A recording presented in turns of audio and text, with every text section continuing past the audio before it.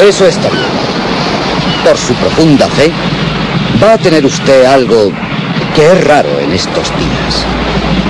Una muerte de mártir. No solo tendrá usted una vida eterna, sino que se sentará entre los elegidos. Ahora ha llegado el momento de su cita con el hombre de mimbre. ¡No! ¡Espere! ¡Esperen! ¡Escúchenme! Podrán llamarlo lo que quieran, pero esto será un asesinato. No se dan cuenta. No hay un dios sol. No hay una... una diosa de los huertos. Su... su cosecha falló porque la tierra es estéril. Esta isla no es buena para producir nada. No es natural. ¿No ven que matarme no va a producir frutos? Samarai, usted sabe que no. Vamos, dígales la verdad. Dará resultado.